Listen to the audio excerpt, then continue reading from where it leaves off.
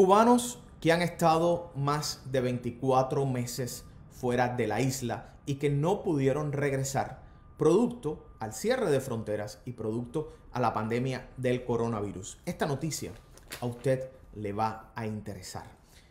El régimen cubano en las últimas horas ha dicho que va a permitir que los cubanos que están en el extranjero, pero que son residentes en la isla, o sea, los que tienen carnet de identidad, los que tienen la libreta de abastecimiento, puedan perder, o sea, puedan permanecer un año más en el exterior sin perder la residencia. Se los explico. Recuerden que Cuba, esa dictadura en la cual nos ha tocado vivir, a los cubanos que están más de 24 meses, que salen del país y están 24 meses sin retornar a la isla, automáticamente le quitan el derecho a ser ciudadano cubano, a ser residente en el territorio de Cuba, le quitan el derecho a tener su carnet de identidad, le quitan el derecho, los pocos derechos que existen en Cuba, entre ellos el de tener el carnet de, de identidad. Y a partir de ahí, por ejemplo, comienzan a cobrarle el pasaporte en dólares, las entradas al país en dólares. Pues bueno, el régimen cubano ha dicho que teniendo en cuenta la situación que se dio con el coronavirus y las fronteras cerradas y que no había vuelos de entrada y salida desde Cuba, van a permitir esto que usted está viendo en pantalla. Según Ernesto Soberón, un funcionario del régimen, los cubanos residentes en el territorio nacional que con posteridad al 19-3, es decir, al 3 19 de marzo no hayan podido regresar a Cuba antes del vencimiento de los 24 meses, se los voy a colocar de nuevo porque esto es importante, cubanos que después del 19 de marzo del 2020 no pudieron regresar a Cuba antes del vencimiento de los 24 meses, podrán permanecer en el exterior hasta el 12 de octubre del 2021 sin perder su residencia permanente. Como anunció eh, el ministro Manuel Marrero, a partir del 12 de octubre de 2020, los cubanos los ciudadanos cubanos deberán contactar a los consulados para solicitar una prórroga de estancia en el exterior. Esta nueva disposición, adoptada en el contexto de la actualización del plan de enfrentamiento, bla, bla, bla, bla, modifica la medida que existía.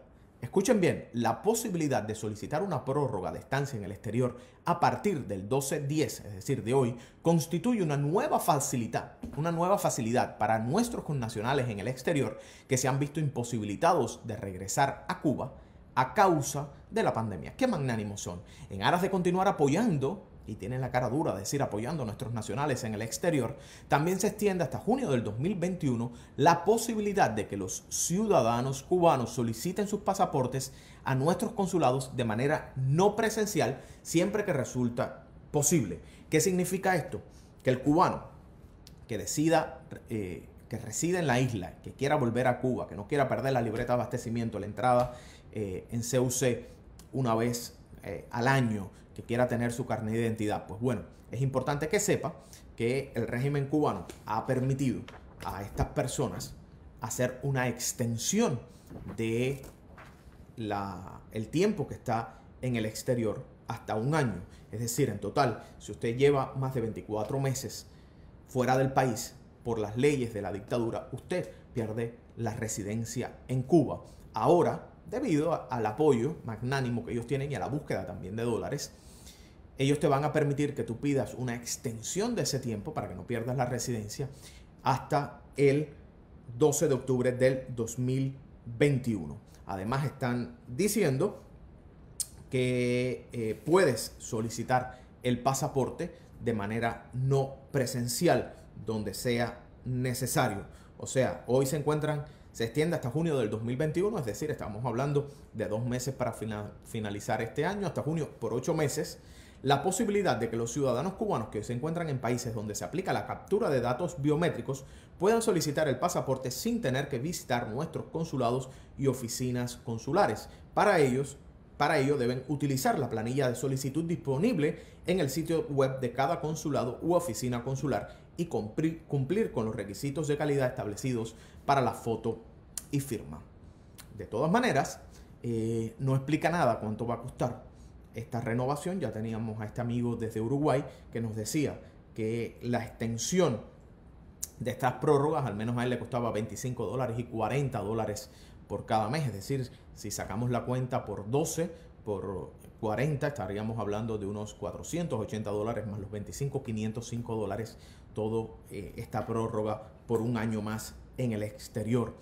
Eh, tampoco han dicho cuál va a ser el costo, si se mantiene el mismo costo del pasaporte, de la solicitud de este pasaporte para quienes se encuentran en otros territorios. Sabemos que aquí en los Estados Unidos ese pasaporte supera los 400 dólares. Por supuesto, como siempre, vamos a estar al tanto de todas estas medidas, pero ya lo sabe, si usted es de los que reside en Cuba y hace más de 24 meses debió volver a la isla y no lo hizo por la pandemia, ahora el régimen le da la posibilidad de permanecer 12 meses más en el exterior sin perder la residencia en Cuba. Solamente tiene que ponerse en contacto con el consulado o con las oficinas del régimen cubano en el país donde usted se encuentra y solicitar esta extensión, que no sabemos el precio que tiene, no tenemos idea de cuánto le van a cobrar. Según este amigo en Uruguay, te cobrarían 40 dólares en Uruguay por mes que pidas de extensión más los 25 años, más los 25 dólares de la prórroga. ¿Cuánto va a costar el pasaporte? Tampoco lo dice.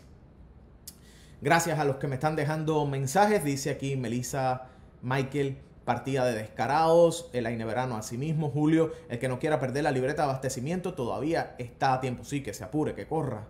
Frank, facilidad, pierde ser cubano simplemente porque la dictadura le gana, le da la gana, abajo los Castro y bien abajo. Eh, Leandro, saludos. Tania Quindelán, saludos. El Aine dice abajo la dictadura, o Batalá Llanza dice viva Cuba libre.